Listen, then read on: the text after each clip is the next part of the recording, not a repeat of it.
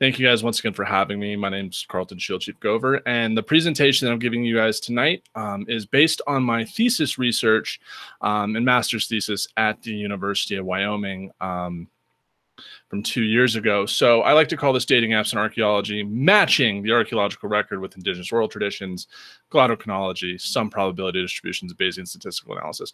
I'm really big on puns, so this was kind of like a modern dating scene with the online apps. Um, I just couldn't resist. So just uh, real quick, a little bit about me. Uh, as you guys have already mentioned, I am a PhD student here in anthropology at CU Boulder, very close to getting my candidacy. I'm very excited. Got my master's from University of Wyoming and my bachelor's of science from uh, Radford University in uh, Virginia. As already mentioned, I'm a citizen of the Pawnee Nation of Oklahoma and the unofficial tribal archaeologist, basically the THPO and NAGPRA agent and Cultural Resources Division. Uh, get my opinion on almost everything uh, pro bono. Uh, very looking forward to finishing up and working for the tribe. Uh, I was the 2020 recipient of the CCP, CCPA Native American Summer Scholarship, and I'm also a research associate of the new archaeological school in Ukraine, um, where I found that the Ukrainian archaeological record is very similar to what we see in the uh, Central Plains. So I'm kind of using these two dualities to help better make me a, a, a more efficient archaeologist. And I'm also a very avid science communicator. I love giving presentations. I am a host of a uh, archaeology-based podcast called A Life in Ruins, um, and also we do a lot of stuff on um, social media. And we're starting to get into comic books now, um, so you can see with the picture to the left. So really happy to be here. Really happy to be talking to you guys. This is my bread and butter. I hate writing papers, but I love giving presentations. Um, so let's finally get started. So just a quick overview of what I'm going to be talking about. I'm going to briefly talk about the oral traditions, and we're going to use those oral traditions to construct a relative chronology um, for population movement and population diffusion. Then we're going to look at glotto, glotto chronological analysis of language, um, and this is really used to kind of give a rough estimation as to when we can identify population divergence. SPDs, this is summed probability distributions uh, do you aggregate radiocarbon data in an area and you run uh, some probability distribution through them and you can find population trends, or so we believe. And then lastly, we're going to go over some Bayesian statistical analysis to give like precision um, sequential relationships between some of these archaeological cultures. I have a couple hypotheses. Um, so, in and as we'll go through this, um, in order to better uh, represent the indigenous, the descendant communities that I talked through, I actually I don't refer to the Pawnee as the Pawnee or the Arikara as the Arikara, Wichita as Wichita. I refer to them as the their their own nation designation. So, Chaticks-si-Chaticks. Uh, people of people. This is the Pawnee. Um, and then we have the Sahnish, which is the people, which are the Arikara. And then the Creekeries, not quite sure what that translation is, but might be the raccoon people. So first, my first hypothesis, the Chaticks-si-Chaticks are descendant communities of the Central Plain tradition and initial coalescent variant populations. Oral tradition accounts of Northern Caddoan migration, which is the Chaticks-si-Chaticks, the Sahnish, the Creekeries, uh, migration into the Central Plains comes from the southeast of Nebraska, of Nebraska, and these are accurate accounts. And lastly, ethnogenesis, or the formation of identity of what we know as the Chaticks-si-Chaticks today, and the Sahnish occurs in the 16th century. And, and why am I doing this research? Why is uh, what what was the impetus for for all this? It, it honestly stems from a conversation I had with my father a long time ago, in which I asked my dad, "Hey, Dad, where did the Pawnee come from?" And he's like, uh, "I think we're related to the Aztecs." And and this is this isn't uh, you know unheard of in the Pawnee Nation. There was this book, An Archaeology of the Soul, um, by Robert Hall, in which he he looks at the Skidi Pawnee or Skidi Chudix um, Morning Star ceremony, which was a ritual sacrifice, and compares it to these Mesoamerican cultures and publishes in this book. And some people in, in, the nation and elsewhere in academia have seen this, especially in the 80s, as like, oh, there must be the relationship because of this. Um, so this is kind of where this stems from and it was basically as I went to grad school, uh, my my research is focused on trying to identify well, what is what is my tribal what, what's what's what's the Pawnee's history um, outside, and mostly you know you have a couple books and you have the archaeological record, which really doesn't go too too much into this. Um, so this was kind of my journey. This wasn't like I found this to be fun. I hate statistics, um, so I never would have thought of myself using SPDs or Bayesian. Um, but these were the tools I needed to answer a question that I've held for a long time. So as I mentioned, these investigated tribes referred to by their own names, um, and as their list here. And uh, I, I, firmly believe that oral traditions of migration and population relatedness are tested through multiple statistical pa packages, especially coming from Wyoming, which is a hardcore processual data driven school. In order to make um, a lot of these interpretations, they had to be based on quantitative data. So I really had to pull multiple lines of, of research and evidence together to make a strong conclusion, as we all should in science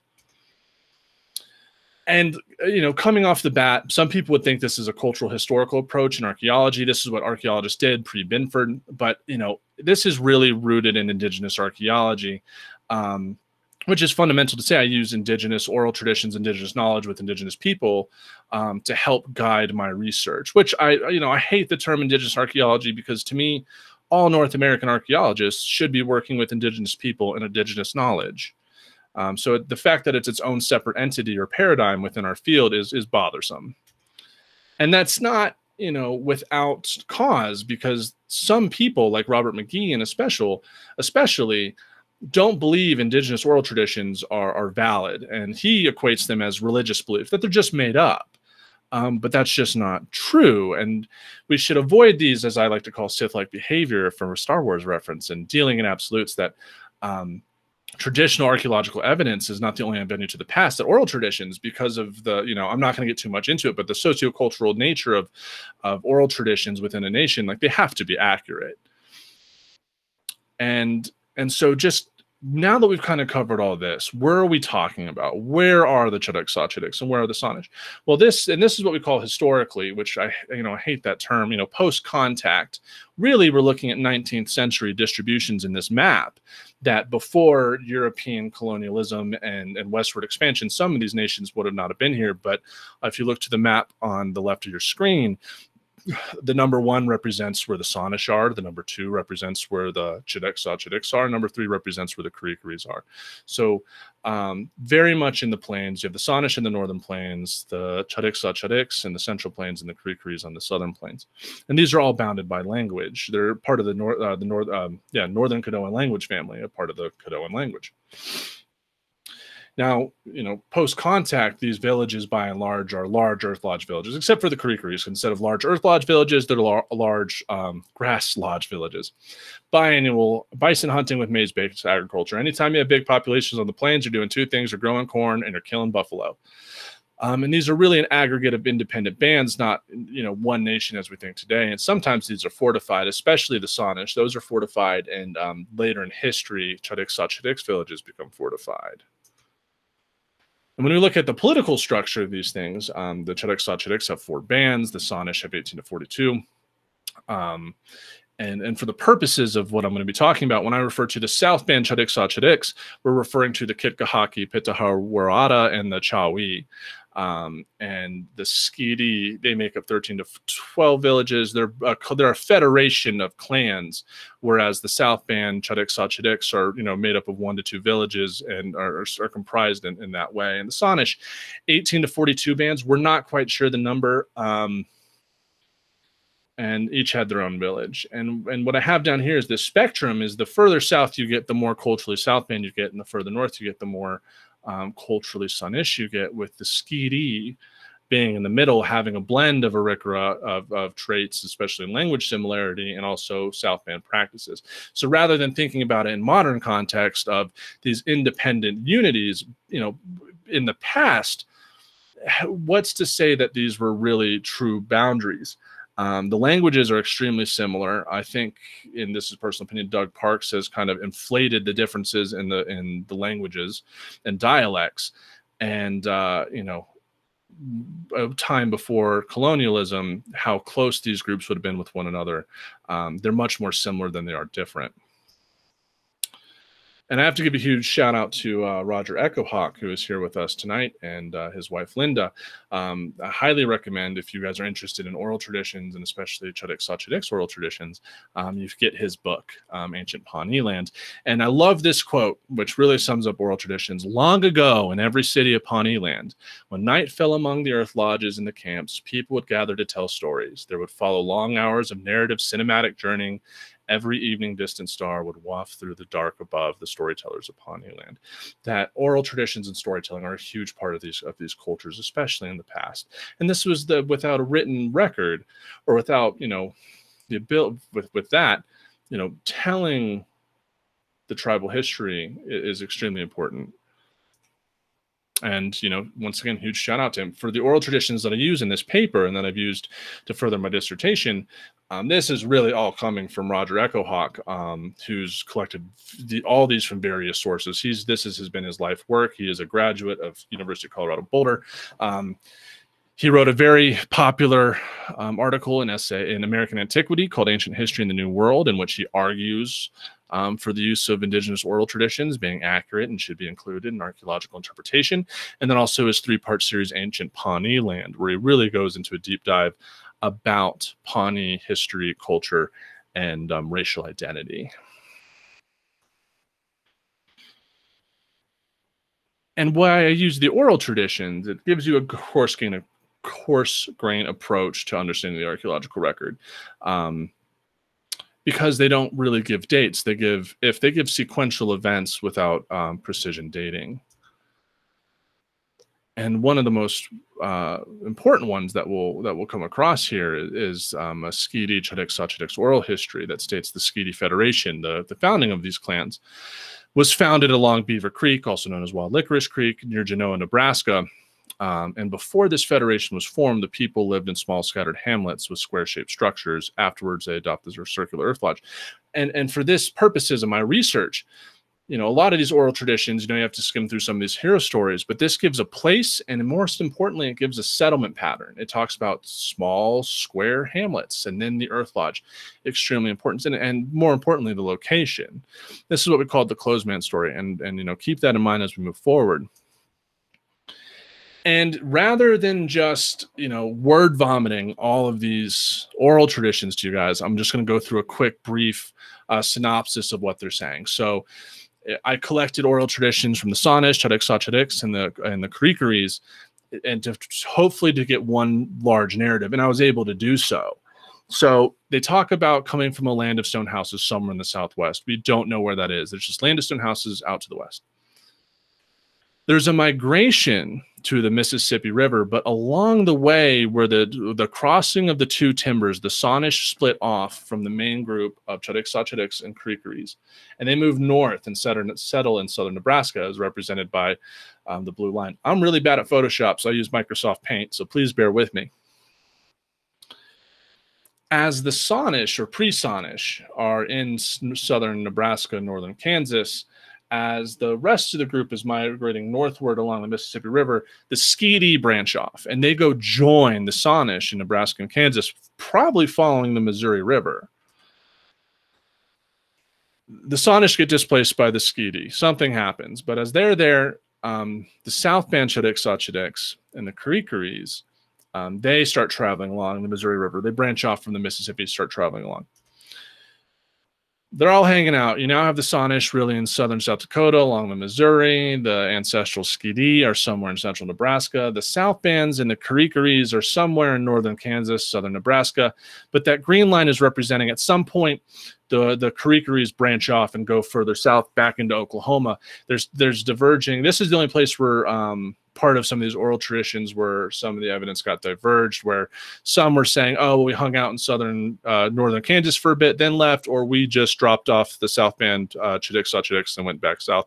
But for the purposes of this, it doesn't really matter then we have um, abandonment at some point. Um, all these groups acknowledge like they left Nebraska and Kansas. Um, they're probably up in um, northern Nebraska or southeastern Kansas. We really don't know. There was only one or two oral traditions I was able to find that talk about this. For the others, there was a breadth of information. And then we get start getting to the historical period after this abandonment or uh, depopulation of Nebraska and Kansas. That's when the Sahnish really start moving up the, Miss- the Missouri River into their historic homeland and the Skidi and South bands come back. And um, then you kind of get these general historical uh, boundaries that we see in the 19th century, that this is where they're kind of located. Um, but the problem with all this, as I mentioned earlier, that without any mention of dates, you know, these oral accounts are, are when which they occurred or when they occurred are speculative at best. And can only provide a relative chronology, but that's where you need to start, right? It's like you have to have an idea of like, okay, if this is what they're saying, you can start developing expectations of how it can be um, seen or witnessed in the archaeological record. Um, but now it's kind of figuring out, well, especially in one of those oral traditions talking where the uh, um, Sahnish and Chedic talk about separating from one another, it's it's absolutely reasonable to speculate that language should separate as well so that's what I started looking for. Is like when, you know, language separation is a huge characteristic of um,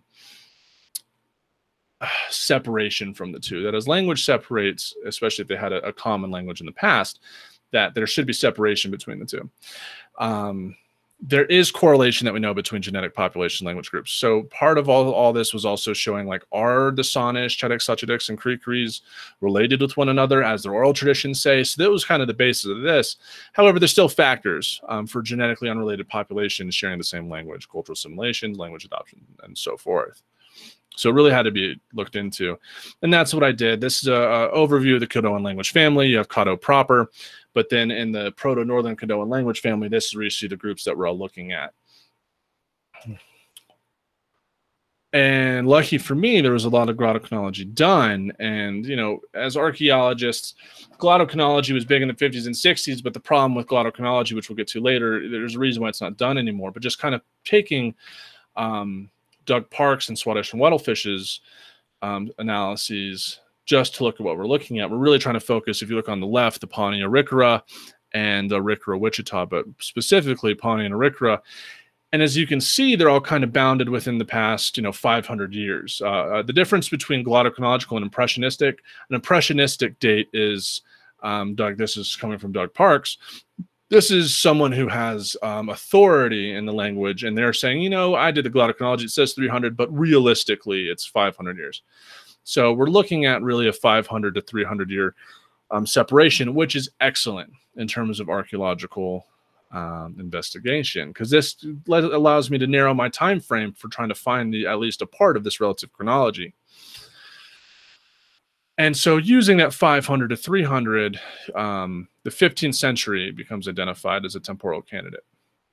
Um, and since the language separation only occurred within the past few hundred years, we have this variability in morpheme decay. And this was the big problem with glottochronology back in the day is that language doesn't is not it doesn't change at a constant. And in part of this um, statistical analyses, language decay is constant. But and that's what we're talking about morpheme decay.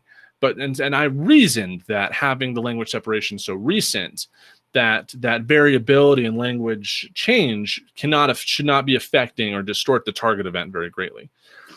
And you know, and this is really just to to narrow in my investigation. I'm really not taking too much in the glottochronology. I'm mostly just saying, okay, when is a window I should be looking for in the record on the Central Plains for my investigation?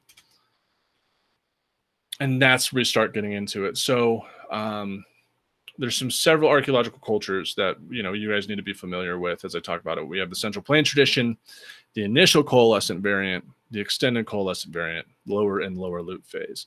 And this is all coming from Lehmer 1954. This is all part of the Plains Village pattern. Um, and really the differences between these archaeological cultures is pottery, architecture, settlement pattern, and geographic location. And most importantly, especially for the Central Plain tradition, it's really the geographical location rather than the other three. And this is just a brief um, general characteristics of what we're talking about. Um, we really don't need to go into this too detailed, but just keep in mind the temporal spans and just trust me when I say that uh, these are all different.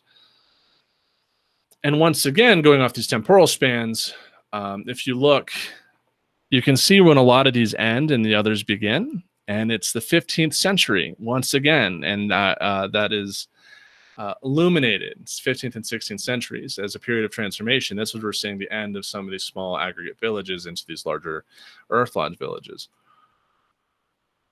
And we have, um, thankfully, from a lot of the work of archaeologists in the past, um, we have a good idea of what's going on. You have the Central Plains tradition first. This is followed by initial coalescent. And initial coalescent variant splits into lower loop phase, which then becomes historic Sachedics. And uh, on the other side, it becomes extended coalescent variant, which then becomes post contact coalescent, which is historic Sahnish.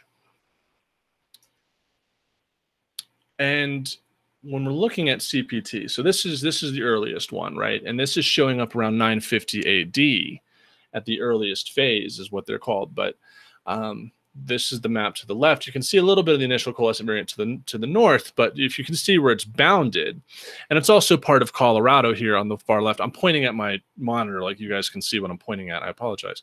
Um, but these these sites, especially Itskari and Upper Republican, they have campsites in Wyoming and Colorado, and this is and they're bringing in pottery made from uh, central Nebraska out to Colorado and Wyoming and bringing back raw material and bison.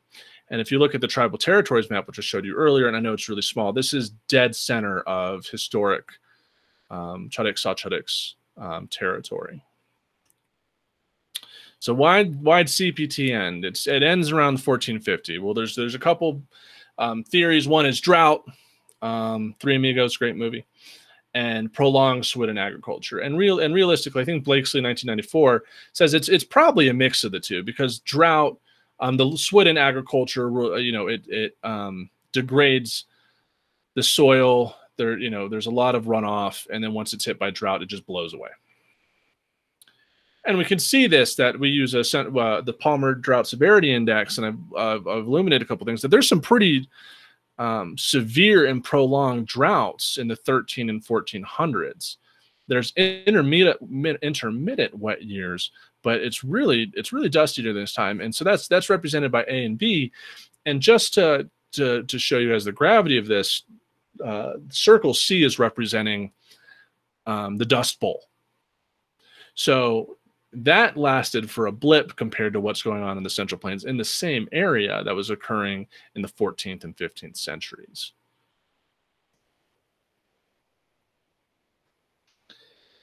And as we as we look at the Central Plains tradition, you know, realizing this 15th century, not only is the language saying this is a period of transformation, the archaeological record is saying this is a period of transformation.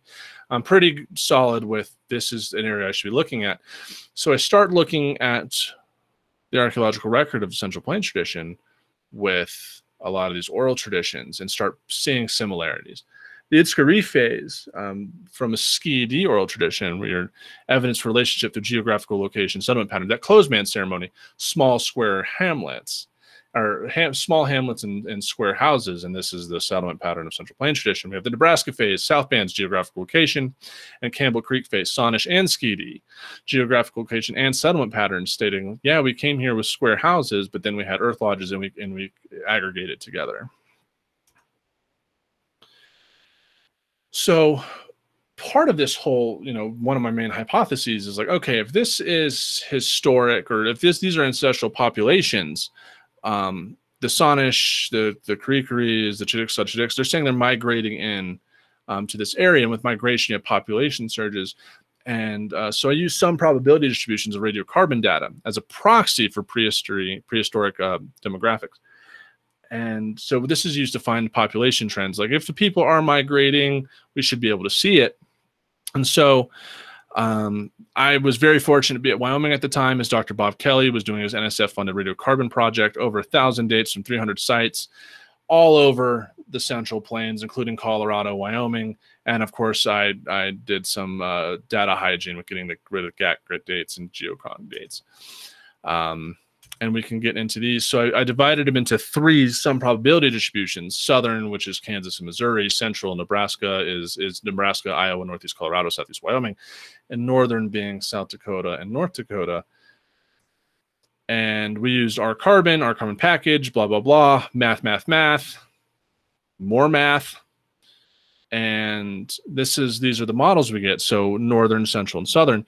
And this red bar in the middle is representing um, the year 1450. The blue fields are representing there's less population than should be expected by the model. And the, the red field is representing there is statistical significance. So this is an exponential model. So that gray area is expecting this is what the population should be based on human procreation. Um, the Central Plains and the Plains in general, it doesn't have many dates compared to other areas for a number of reasons. But right when you hit around 950, there is an explosion that is not of population, which is not caused by um, procreation. That is that is too exponential um, that it, it, it, must be migration. And more importantly, we can see the southern SPD, Kansas and Missouri, starts having a higher population increase before central.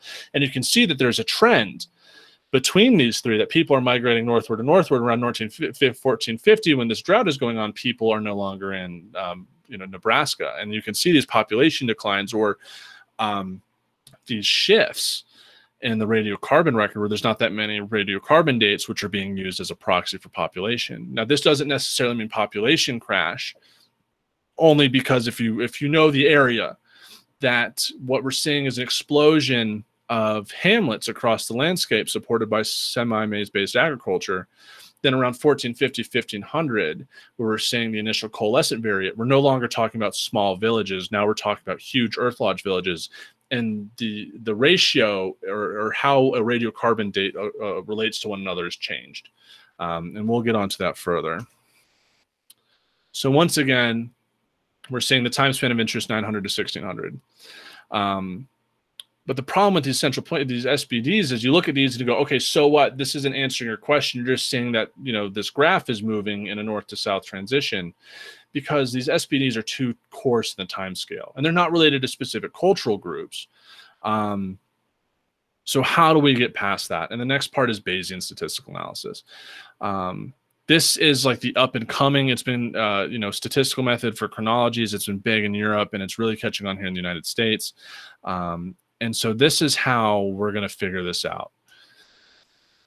So this is this is the bread and butter of this paper and of this of this presentation is is these Bayesian statistical analyses, and we're trying to see this. We're trying to see a couple things, and uh, one are people coming in from the southeast, and then two is you know are these cultural chronologies related to one another, or is or is there replacement going on?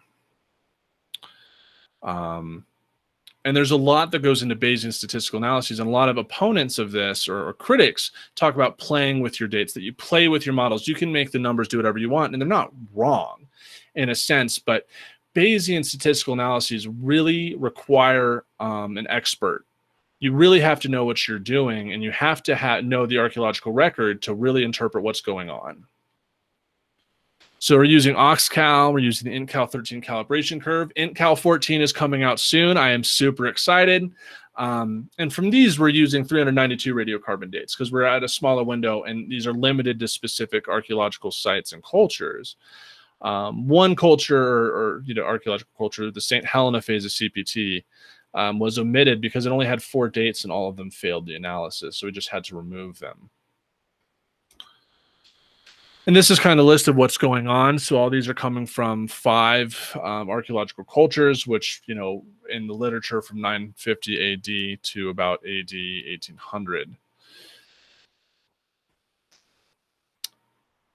And in order for my models and what I'm doing to be correct, they basically have to pass what we call an A model and A overall greater than 60. This is the same as having a p-value that is uh, greater than 0.005. It's that's what it that's what it stands for.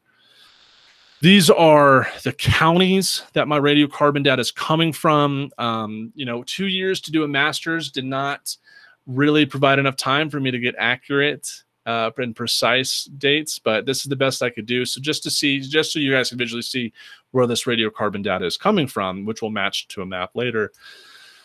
And this is what you get. Um, this is this is uh, a year's worth of research condensed into one figure. Um, yeah, this this was it. So what we're seeing here, um, it's a lot. I understand this is a lot to look at, and many of you guys are going, "What is this kid talking about?" And I will answer questions. Um, but what we're seeing here is start and end boundaries. The bar underneath these these um, bell curves, some of these are bell curves. It's the 99%, 95.4% probability that the start of this cultural sequences within this model. So really, the more dates you have, so like Smoky Hill, Nebraska, and Itskari phase, they have a lot of dates and having a lot of dates allows that chronology or the start time and the end times to be much more concise Steve Kisker, and you can see start PCC, that's post contact coalescent. There's like four dates because it's post contact. We know where the villages are, we know what times they're occupied, we don't need radiocarbon dates. You only have four dates, that's what happens. Um, to to that. So that's pretty much useless, but we already know what's happening with PCC, but I included it just just to, for consistency's sake. And this will make a lot more sense. So when you condense all this into a table where you put the dates are out, um, you see the time ranges for when these archaeological cultures are starting and ending. And these are all bounded geographically. And what do we see? Well, the Upper Republican is the first phase to start. It's really not in the southeast. But then you start seeing Steed-Kisker and Solomon River and Smoky Hill. Um, so what is what is this equating to? Like what's what's happening? So if we're not coming from the southeast, well, this isn't really um we need to refer to this GIS map before we can really talk about it. So this is once again, I've been word vomiting a lot. Um, these are the three hypotheses. Uh, again, northwestern migration of ancestral Caddoans into the Central Plains, cultural transformation from Central Plains tradition to initial coalescent variant, and then lastly, if cultural transformation or ethnogenesis occurs, it does so in the mid 15th century. We get back to this map. So first CPT phase must be in the southeast of the Central Plains region. Steed-Kisker is the first phase to appear, and the Sahnish in the Upper Republican River. So what we're seeing is that going back to that oral tradition where the Arikara, the Sahnish, say, oh, well, we, we went to southern Nebraska and northern Kansas first. The Upper Republican phase is right along that boundary and up along the Upper Republican River. And then we see the, the Steed-Kiskers being the first phase, right? and that's the Steed-Kisker phase. So where the Upper Republican is is ancestral groups that the, the historical Sahnish identify with, and Steed-Kisker is being represented possibly by the Skidi or the South bands coming in because the Skidi Chadic Shachadik said they came to the Upper Republican River too. So I think this is supported. And then we get to the second hypothesis. Um, I hope, okay, wow. Um, CPT is ancestral to ICV. So this has been a debate in archaeology for a little bit. Is Central Plains tradition and ICV related? Um, you know, for this to be possible, CPT should end after ICV begins. Campbell Creek, which is ICV, is the first phase to appear. Um, and the ancestral Sahnish said he lived in South Dakota before ancestral Tudics moved in. And also, if you look at the archaeology more closely, some of those early ICV phases, especially Campbell Creek, Lynch site in Nebraska, where my advisor Doug Bamforth is working. The earliest village, the earliest houses there, they're Central Plains tradition houses, and then there's earth lodges. So you have this connection. It's not just this whole new thing.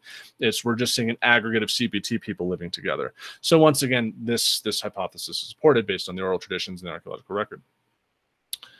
And then lastly, this is the hardest one. I don't like the word ethnogenesis, and coming from Wyoming, ethnogenesis was not a word we use very often um, in those classrooms but realistically and this was kind of a byproduct of doing this research that we're if if extended coalescent variant and lower loop phase are what we know of today in terms of their organization settlement patterns material culture as as proto-historic pawnee and arikara well when do we see that change when we see that happening? And we're seeing in the 16th century that we have you know cpt is is is there's climatic effects that are basically forcing populations or seemingly forcing populations to reorganize and move somewhere else. And as they're reorganizing they're building bigger villages and then they split off after being in a, instead of being in these scattered hamlets now they're in these villages and then they go to their historic homelands and then we start seeing the pottery that and and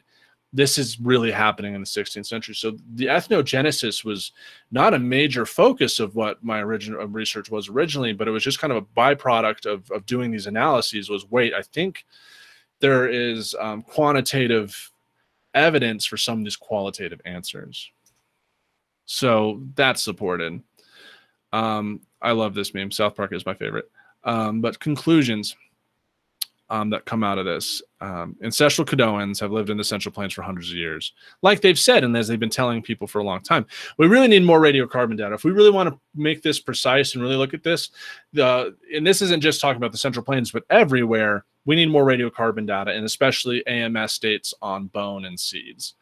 Um, my thesis um, was used by the Cultural Resource Division of both the Chinook and the Caricores to really assert NAGPRA claims, saying like, "Hey, there's evidence for," and, and you know, us being here. And then what's the relationship to Plains Woodland? Well, I really didn't investigate that, so really haven't talked about that. But that's what we're doing now is really doing more holistic um, investigations of relationships to this area. Um, and then lastly, so I've talked about the closed man story twice, and this is what we talked about the Skidi ethnogenesis. Um, that if you you can see Genoa on this map, that part of that closed man story not only does it talk about um, settlement patterns and uh, and where they moved to, but it talks about this event of the morning star chasing the evening star. And you can look at this like, what does that mean? Well, there, there's an actually an astronomical event in which the the what you know the morning star and evening star are seen together, and it's it's it's a it's an eclipse. Uh, it's it's a eclipse of these two stars, and if you look at it that way, and you take up data from NASA to find out when when can you see these, well, in July and October of 1442, in the middle of the 15th century, that we're looking at, this eclipse was visible in this area near Genoa. Um, so that's fun. Um, and I think that's extremely interesting and really just kind of showing archaeology isn't just bounded by the material, the, the remaining materials, but to be better as anthropologists. Take the cultural stuff. We need to take um, the ethnographies, but also start looking at additional evidence because that's how you can make these interpretations, right? Um, and references I saw in a dream Indian joke. Um, there is the reference to my um, thesis if you want to look at it more. It's really not that long. It's only about like 35, 40 pages of text and like 70 pages of tables and data. And if you want to know more about Bayesian, we did an episode about it with Dr. Eric Robinson on the podcast that I mentioned, and it's called Broing Out Over Bayesian. And we kind of go over a lot of these nuances. Um, so that was a lot. I know it was a lot. Um, I hope you guys are still awake, and uh, I will take questions.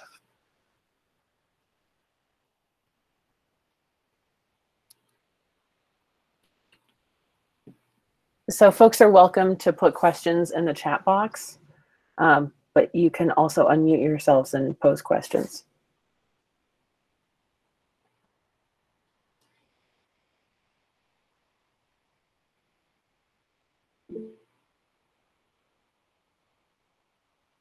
Oh, thanks, Larry. I appreciate that. And yeah. Of course. Thank you very much for joining us, Dr. Todd.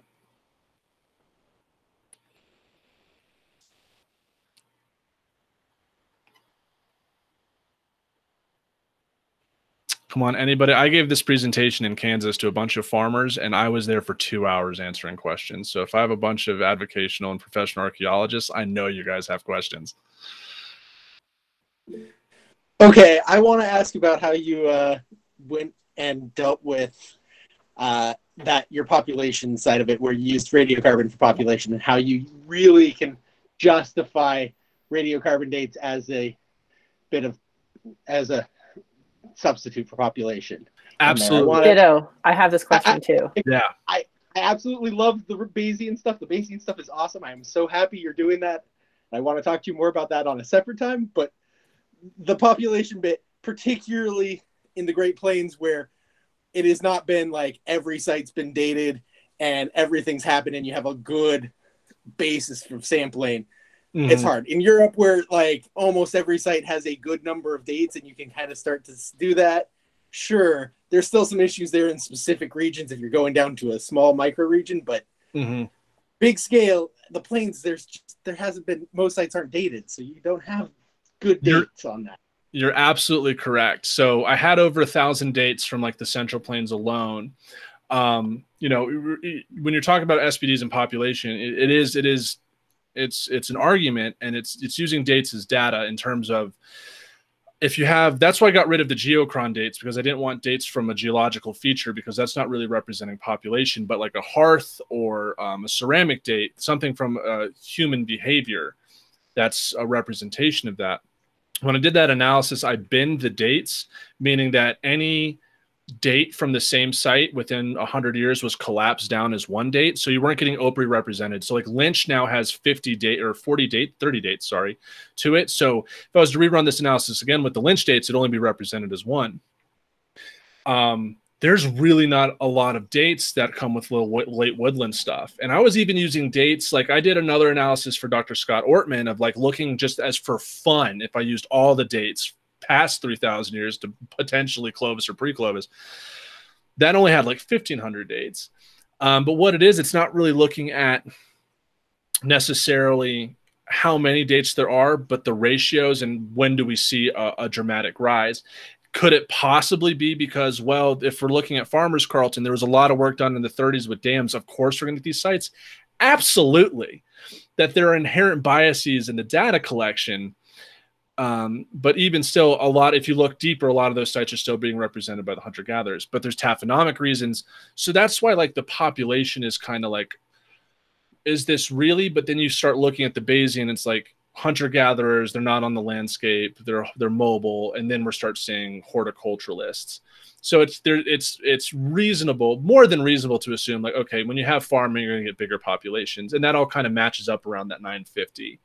Um, and we've played with more of these played with more of these dates uh, dr bamforth and dr casey carlson and i looking at these relationships um, and and honestly the bigger one has become realizing that charcoal dates might actually be imprecise by about 200 years that's kind of been the biggest kick in the teeth to all of this research that that's what my doctoral stuff is is like having to go and get ams dates on a radiocarbon record that is 90% uh, comprised of 95% charcoal so it doesn't mess up the chronologies, but moves up the time.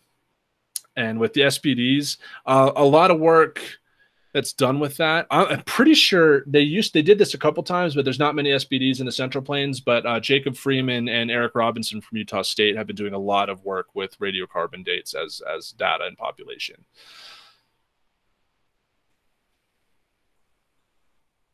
Yeah, I'm familiar with Shennan's work, so I was you. I, I knew that side of it. I just don't want, wanted to know how you were dealing with it in your case.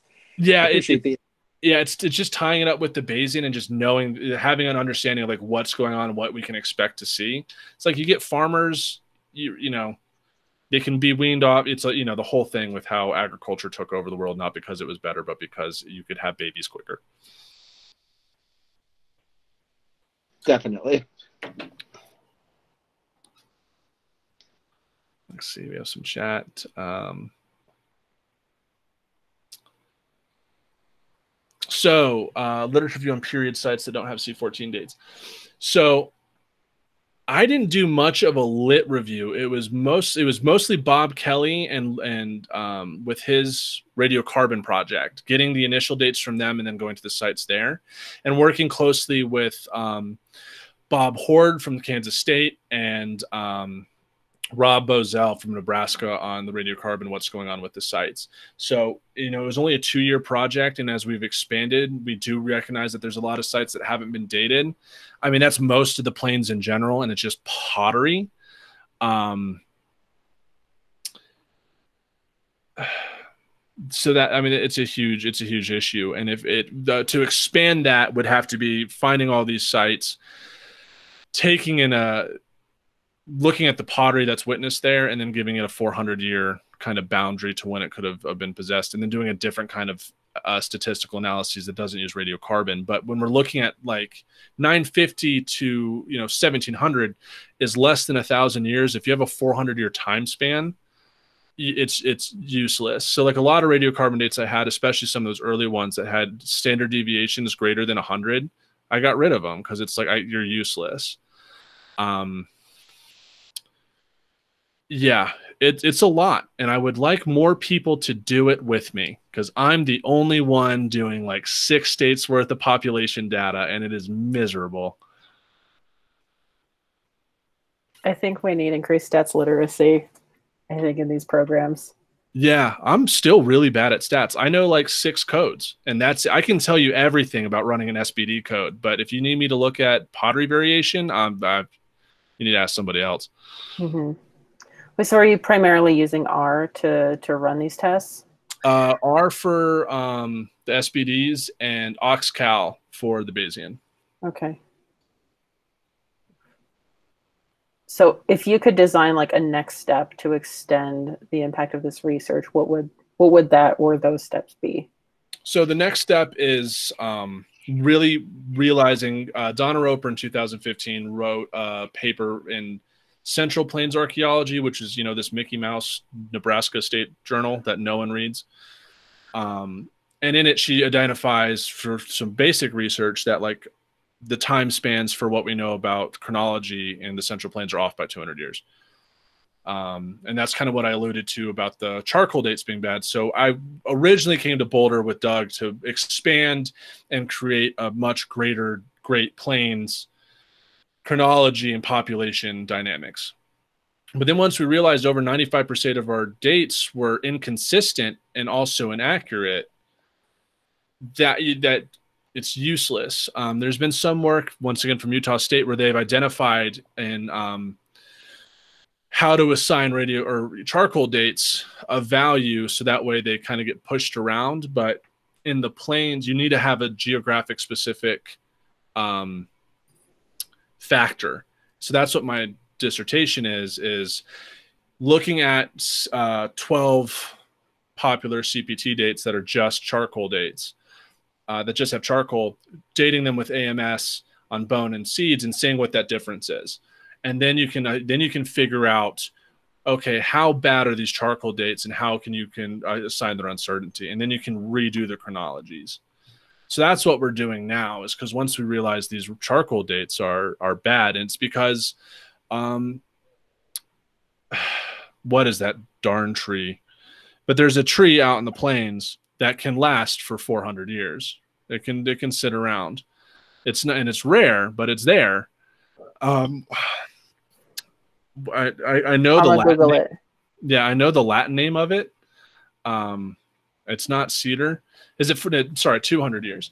And then you get into the whole method of how do you date trees and what are you actually dating? You're not really charcoal is not actually dating the target event. It's actually dating when the tree from the smaller rings of the tree when it was born and what's the difference between what you're trying to date and what part of the tree you're dating so you really get into the science and nitty gritty of how you get a radiocarbon date from charcoal and it gets pretty intense i could probably just pull up. I have my radiocarbon library right here. Juniper that's it. Yeah juniper Oh. trees can live a long time on the plains. So and it's dead wood. So if they can last for 200 years you start a fire after it's been out for 200 years and you burn it and you burn it down to its little core when it was like a one year old sapling you know you're not dating when it was burned you're dating when the tree was a sapling. So it's that's really the problem. Um, and we've and just preliminary analysis with the radiocarbon record that i do have the ams dates from the same site from the same component are always um, later in time. Hmm. from but and it's not consistent. It's anywhere from 50 to 200 years. So it's not like i can just be like all charcoal dates are 200 years too old. So that's the issue that we're facing. And it and for the purposes of this research if we're talking about plains migration coming from farmers from 950 and you push that back to 1250 well 9, 950 is when cahokia is rising and 1250 is when it's collapsing. So that changes the perception of what's going on. So that's why it's important. And it's really cool. And yeah it'd be cool to see, to just kind of see what's going on. And then also yeah it's a lot. It was a can of worms that i really didn't want to open and was just opened accidentally just from me and doug from reading this one paper and like looking at each other with our mouths open for like 20 minutes like oh great this is going to consume a lot of our time from now on A ton. Mhm. Yeah, I mean, the working with those margins, and your deviations, with the span of time is, I, I applaud your effort. That's impressive. it's fun and what's even better since i don't actually have to do field work the grants i'm getting and scholarships because i don't have to go to the field it's i have a project that requires me to work on my computer Right. Yeah, PSA, um, Colorado Archaeological Society also has the Alice Hamilton Scholarship that, that pays up to $1,000 per, uh, I guess, application for, uh, for Colorado archaeology students. So, you know, okay i'll keep that in mind i'll put that plug. in my calendar right now Yeah, that's actually one of the reasons that we, you know, hold our annual meeting is that we try to fund that that Mhm. scholarship. Um, but yeah, like having played with uncertainty analysis um, for different things, I, I applaud the effort. Um, I know there is an interesting um, metrology package in R Mhm. that I've used for some uncertainty analysis, but yeah, curious to see how it can apply to, to dates. Yeah, I mean, it's especially in the U.S. This whole it's really kind of new, and it's really being spearheaded by a couple people. So it's just I'm kind of waiting to see what other people are saying. Like the People K, the People 3K project from Utah has, has been very fascinating, especially SPDs and then what they're realizing with Bayesian because everywhere's having this problem. And I was talking to a colleague who does archaeology comics with me, who does this work in Oceania, and we were talking about our research. And he's like, "Yeah, so we figured out in the Philippines we have this old wood problem that's affected our chronologies." And I was like, "Oh, really? Tell me more." Yeah. Um, so it's kind of like everywhere as as people are doing more Bayesian and more of these packages, everywhere people from across the globe are realizing that this is a problem. Um, especially since a lot of our early radiocarbon data sets were just charcoal because that's what we thought was you know could date at the time. Yeah. And now that we have more better we're re- better dating methods, we're realizing what we thought uh, were accurate were really just precise, and that precision led us to believe they were accurate. yeah, those those two things are not the same. exactly. It's amazing how much we learn year after year, decade after decade in this Mhm. this discipline And, and, how it affects people. Yeah, and honestly, what what really kind of sucks about this paper and this presentation is there's a lot more going into this. You know, if you look at the material culture, which is what most people want to see, like especially with that Steed-Kisker phase, you're seeing Cahokian objects. Upper Republican, you're seeing um, Spiroan objects. So like we're just glossing over the material record and really just looking at at statistics um, to tie these in. And uh, that's what always lacks from this presentation is like the cool stuff people want to see. No one wants to just see maps and graphs. Like I realize that is very boring. Um, and it's a lack of the cool stuff. And I'm slowly working on it as I as I do this presentation over and over again. Yeah, but your gift game is strong. Yeah. Yeah. Yeah. I realized to make keep people awake, I need gifts and memes. Totally. Okay, I don't want to monopolize the question time. Yeah, thank you, uh, Michael. I appreciated that, man. I missed you when I was in Pawnee last week. Um, next time we'll have to meet up.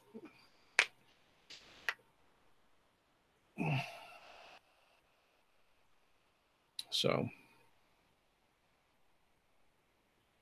oh, and I do have to uh, give a shout out to uh, Michael Knife Chief, who was in the chat. He was um, the THPO when I first, the Pawnee Nation THPO when I first started this project, and he helped me a lot with a lot of my source material. Um, uh, and he is, I think he has a master's from OU in history now. So congrats, man.